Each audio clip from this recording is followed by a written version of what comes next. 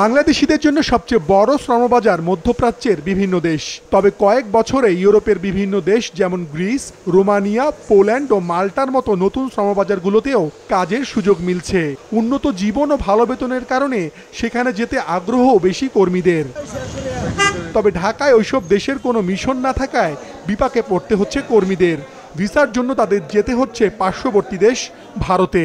ইউরোপে দেশগুলোতে, আমাদের মতো এইসব দেশ থেকে অনেক পরিমাণে বেশি আর কি লোক নেওয়ার জন্য হায়ারিং করতেছে। কিন্তু ওইসব দেশের, বিশেষ করে গ্রিস, পোল্যান্ড, এইসব দেশের এম্বাসিগুলো সরাসরি আমাদের বাংলাদেশে নাই। এইসব এম্বাসিগুলো যেতে হলে আমাদেরকে মূলত ইন্ডিয়াতে যেতে হয়। আর ইন্ডিয়াতে যাওয়ার জন্য দেখা যায় দুই থেকে তিন মাসের একটা লং সময় ওইখানে আমাদের স্টে করা লাগে।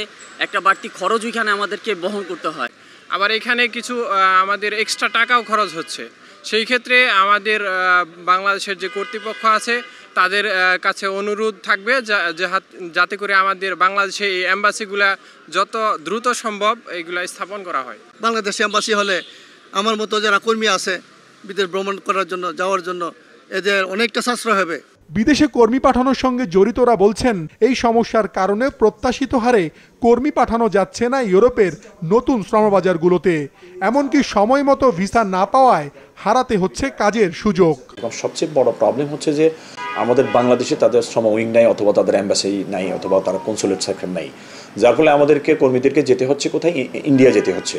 তো ইন্ডিয়াতে যাওয়াটা প্রথমে ইন্ডিয়ার ভিসা পাওয়াটাও ডিফিকাল্ট এবং এটা এখন ইন্ডিয়ার ভিসা পেতে এক দু মাস সময় লেগে যায় অ্যাপয়েন্টমেন্ট পেতে।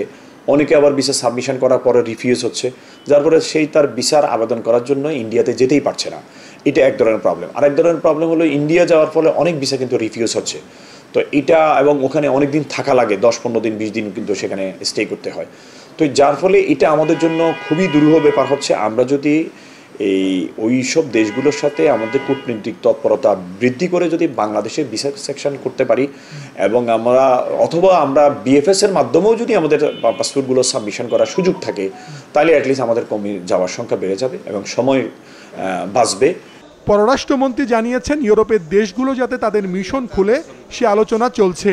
ততদিন পর্যন্ত বিকল্প উপায়ে ঢাকা এইসব দেশের ভিসার কাজ যেন শেষ করা যায়, সে ব্যবস্থা করা হচ্ছে। আমাদের দেশের মিশন ওখানে খুললে যে এই মোট ডিম্যান্ড যে তখন তার মিশন খোলা যাওয়ার সম্ভাবনা আছে।